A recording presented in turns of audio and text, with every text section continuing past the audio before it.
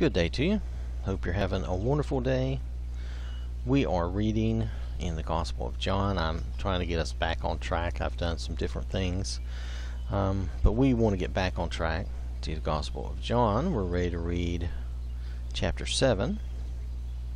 Now, this is unscripted. This is just a like foundational type of uh, Bible study where we're reading the Bible and trying to understand the events and try to understand what is being said so that we can apply that to ourselves.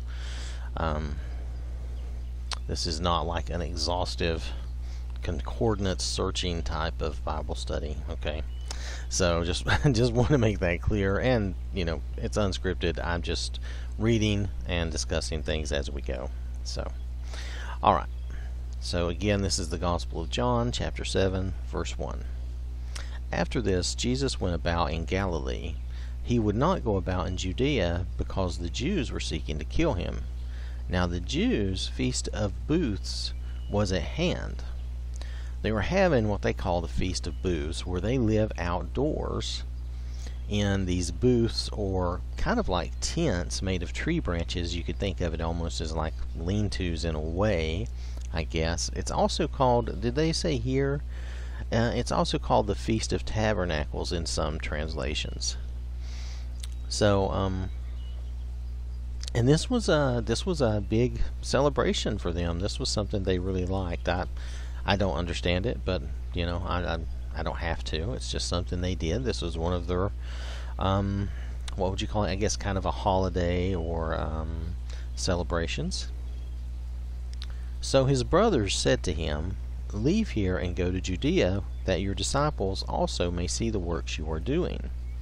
For no one works in secret if he seeks to be known openly. If you do these things, show yourself to the world. For not even his brothers believed in him. Now, his brothers here, um, now I was reading in the Amplified Bible, and it says it is actually his younger brothers, Jude and James and that they, uh, you know, they have their own epistles in the New Testament. They, of course, are Joseph's sons and Mary's sons, but you know, so they're brothers to to Jesus, but they are not. Um, I guess you would say they were technically half brothers, or you know, but nonetheless, they were brothers. They grew up together. Um, so they're recommending that Jesus go, you know, hey, go go into town, show yourself, do these things. Don't uh, you know you if if you're going to do these things, you know you don't want to do these in secret. You want to show it. You want everybody to see it.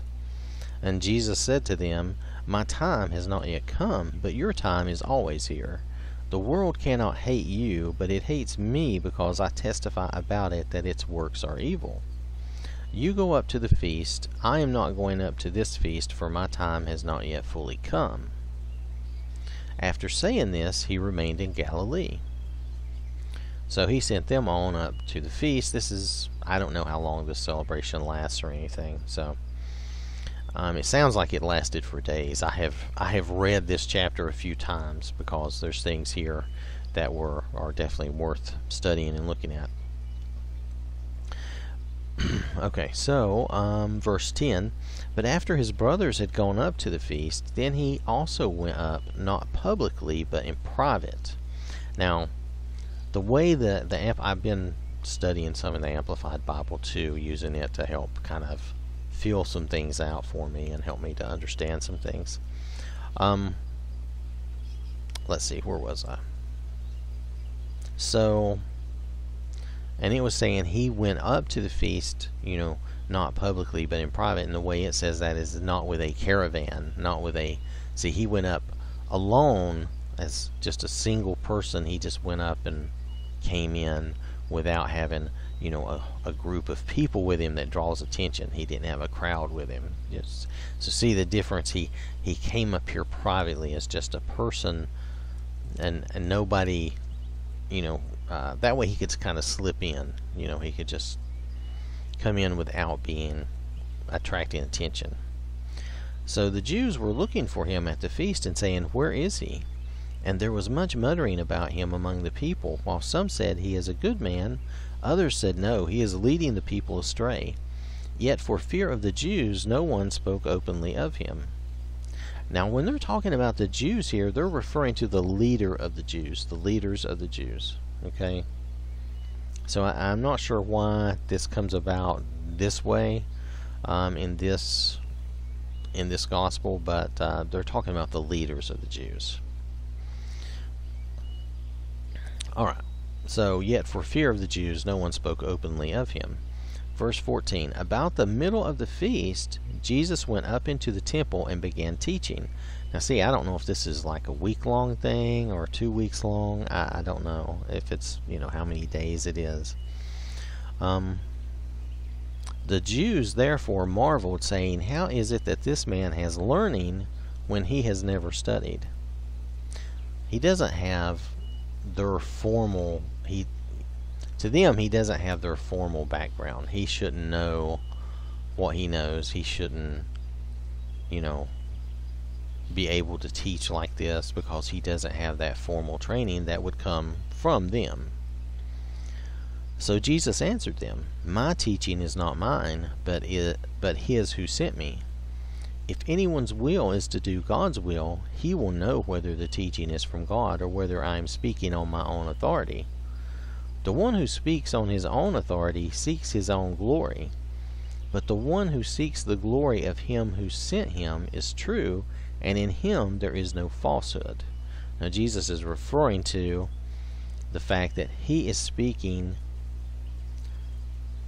not on his own authority, but he is speaking because he's not seeking his own glory, but he's speaking of God on God's authority, and he's seeking God's glory, not his own. Verse 19 Has not Moses given you the law? Yet none of you keeps the law. Why do you seek to kill me? Now, this is true in a couple of ways. Has not Moses given you the law, yet none of you keeps the law? They don't really they don't really keep the law as it was intended and and the gospels are all about i mean there's a lot about uh, jesus speaking to the the leaders and uh, explaining to them how they're wrong and how they're doing wrong things and they're not following the law as it was intended to be um, and then why do you seek to kill me i mean that's an obvious that's an obvious thing that's against the law they seek to kill him but uh, also, they you know they're seeking to kill him because they feel he's a threat to them. Maybe you know maybe they're well. We won't get into all the human motives there, but nonetheless, um, the crowd answered, "You have a demon. Who is seeking to kill you?" Jesus answered them, I did one deed, and you all marvel at it. Moses gave you circumcision, not that is from Moses, but from the fathers, and you circumcise a man on the Sabbath. If on the Sabbath a man receives circumcision so that the law of Moses may not be broken, are you angry with me because on the Sabbath I made a man's whole body well? Do not judge by appearances, but judge with right judgment. Now, here, Jesus is plainly saying, see, when they get circumcised, they have to be circumcised on the eighth day. If I remember correctly, it's the eighth day. And that actually turns out to be a really excellent day to circumcise a child. Um, medically speaking, uh, as babies, they just have uh, they have a real uh, resistance to any problems or issues. Um, I'm trying to think of the right word. Uh, anyway, they're just you can read about it. Um, I, I have read it, but I don't remember all the exact stuff, and I'm not a medical person, so just pardon me there. But um, the baby has a lot of good uh, like antibody things and, and defenses you know at that on that eighth day uh, that that starts to subside after that. It's like their body builds up all this stuff. Anyway so the eighth day is a great day to be circumcised it is the best day and um, because they must be uh, circumcised on the eighth day. Sometimes, if it's on a Sabbath, they still do it. Okay, and now, um, so if it's okay to, and that's that would be an example of something that has to be done at a certain time, and if it falls on a Sabbath, or in our case, let's just think of it as it falls on the Lord's Day on Sunday, and it needs to be done, you're still going to have to do that. You, you, you do that and you take care of it. now, here Jesus had healed someone, and he's referring back to where he had healed. Um, and this had, this had occurred uh, in a previous chapter that he had healed someone on the Sabbath, and they were, you know, they were not happy with him, and they uh, were plotting to kill him because he was doing these things on the Sabbath. Um, and he's just saying to them, why is it okay to circumcise a baby on the Sabbath? You know, to fulfill the law, but it's not okay to heal someone. And he, he just says their judgment is wrong. Their their hearts are in the wrong place. They're not thinking about these things clearly. It should always be okay to heal someone. I mean, what if the person was grievously injured? Would it not be okay to try to patch them up and keep them alive? I mean, you know, of course it would be. So, anyway, they he knows they are plotting to kill him too. So, so this is just another example of him talking to the leaders and saying, "Look, you know, there's nothing wrong with this." So, verse 25 Some of the people of Jerusalem therefore said, Is not this the man whom they seek to kill? And here he is speaking openly, and they say nothing to him. Can it be that the authorities really know that this is the Christ? But we know where this man comes from, and when the Christ appears, no one will know where he comes from. So Jesus proclaimed as he taught in the temple, You know me, and you know where I come from. But I have not come of my own accord. He who sent me is true, and him you do not know. I know him, for I come from him, and he sent me. So they were seeking to arrest him, but no one laid a hand on him, because his hour had not yet come. Yet many of the people believed in him. They said, When the Christ appears, will he do more signs than this man has done? As I've I've stated before, Jesus just did so many miracles. He did so many things in his ministry. He healed people and did so much that uh, he was just really, really famous for it. And uh, you'll see here when Jesus is referring to, um, you know, you know where I come from, but you don't know who sent me. You know, he's talking about God, of course. He's saying, you know, God sent me, and you do not truly know God. Um, but I know him because I came from him. And, and, he's referring to God. So here the Jews, so they were seeking to arrest him. The Jews were wanting to arrest him um, because he's making himself again equal to God, saying he came from God. And, um, well, in their minds, you know, making making himself equal to to God and, and basically saying he is the Christ and the people are believing in him and saying, "Well, you know, is the is the Christ going to do more than this guy has done?" I mean, because Jesus was fulfilling uh, those prophecies. Verse thirty-two. The Pharisees heard the crowd muttering these things about him, and the chief priests and Pharisees sent officers to arrest him. Pardon me. Jesus then said, I will be with you a little longer, and then I am going to him who sent me. You will seek me, and you will not find me. Where I am, you cannot come. The Jews said to one another, Where does this man intend to go that we will not find him? Does he intend to go to the dispersion among the Greeks and teach the Greeks? What does he mean by saying, You will seek me, and you will not find me? Where I am, you cannot come? They were not understanding that he he knew what he was going to do. He knew he was going to die and be resurrected and go to heaven and be our mediator, you know, in heaven with God. He knew how things were going to change. He knew what his mission was and what he was doing. So they did not understand.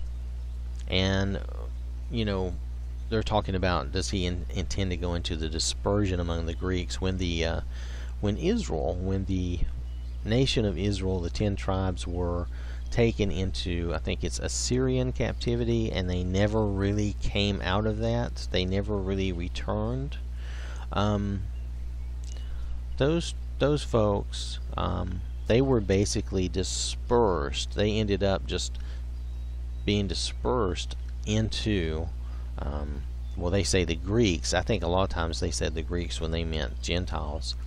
Those folks ended up living on and being dispersed into the rest of the nations of the world over time. Now, immediately that would have been Assyria and maybe the neighbors, the neighboring countries around Assyria. But Assyria itself was, um, uh, what's, what's the right word, conquered at some point. So, you know, they ended up being dispersed out into the Gentile world, okay, the Gentile nations. And over time, you know, they've spread around. And I mean, I don't know that. Um, I think there are supposedly still some folks from those tribes um, that are, you know, they are Jewish. They adhere to the Jewish way of life and all. But I'm not. I'm not up on all that. So I do know that this dispersion among the Greeks refers to, or at least from what I've read and what I understand, refers to those Jews who did not, who really did not come back from that captivity. Those people were captured, taken to Assyria, and ended up just being dispersed out, like I say, into the Gentiles over, you know, over hundreds of years. Their their, their families and their um, descendants, you know, just ended up being spread out through the world, through the Gentile world. So, um, if I'm wrong about that, you can always let me know. But that, from my reading and from my understanding, that's that's what that was about. So they wondered if they were going to be part of those Jews that were spread out through the rest of the world, if he was going out to speak to them. Uh, verse 37 On the last day of the feast, the great day, Jesus stood up and cried out, If anyone thirsts, let him come to me and drink. Whoever believes in me, as the Scripture has said, out of his heart will flow rivers of living water. Now this he said about the Spirit, whom those who believed in him were to receive, for as yet the Spirit had not been given, because Jesus was not yet glorified. Right, the Spirit would not be given until after Jesus died and rose again. And we will, Lord willing, we will read about that. Um, now, verse 40 When they heard these words, some of the people said, This really is the prophet. Others said, This is the Christ. But some said, Is this. No. Let me rephrase that. But some said, Is the Christ to come from Galilee? Has not the Scripture said that the Christ comes from the offspring of David and comes from Bethlehem, the village where David was? So there was a division among the people over him. Some of them wanted to arrest him, but no one laid hands on him.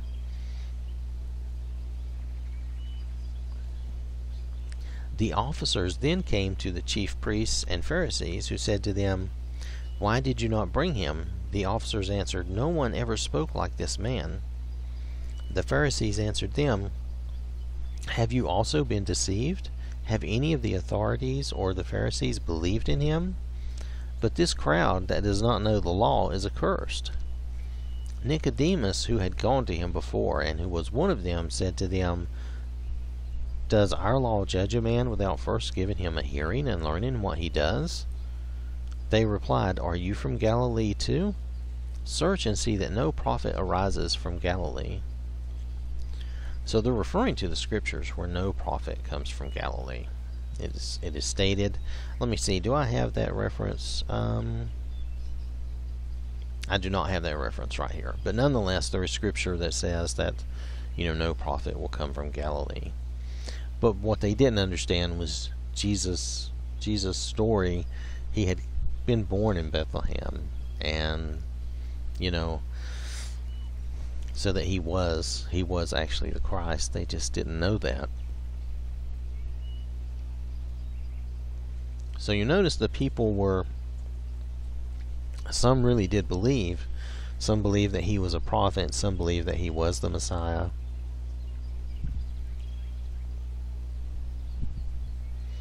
But they were expecting him to come from Bethlehem And let's see. So, uh, and you notice Nicodemus here is kind of. I think Nicodemus was trying to interject some logical thinking, some sound thinking. Hey, do, do we not follow our own law? Do we not, you know, first give a man a hearing and see what's going on before we judge him and try to arrest him and condemn him? You know, and then they, see, they kind of came at him. Are you from Galilee too? Like, we'll just take you and throw you in jail and get rid of you too. You know, but it's a little threatening. That's all I'm getting at. But then they say, search, you know, the scriptures, and you will see that no prophet comes from Galilee. So they were definitely the leaders were definitely wanting to uh, get rid of Jesus because the people were starting to believe in him, and if they did believe in him, then they served no purpose anymore. When the Messiah would come, I don't I don't know what these chief priests and everybody thought, but when the Messiah would come, they would not be needed at least in the role they had had all this time. They would not they would not have that power, they would not have that influence. Instead, they would be actually subject to the Messiah, which they should have been. They should have recognized him as the Christ, as the Messiah, and should have been subject to him. But they were not willing to give up their position and their power. And they were not willing to listen to reason. So, alright. That is the end of chapter 7. I want to thank you for listening. Hope you have a wonderful day, and God bless you.